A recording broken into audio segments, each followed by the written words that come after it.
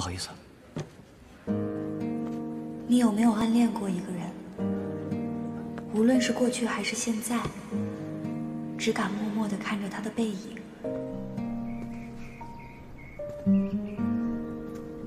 高中时每一天上学路上，我隔着五米的距离，亦步亦趋，仿佛他的后背能开出一朵花。每次相遇并不是恰好，是我算准了时间，早早的等在那儿偶遇。我知道，或许有很多他自己都没有注意到的事儿。他球打得很好，人热心又善良，身边总有很多朋友围绕。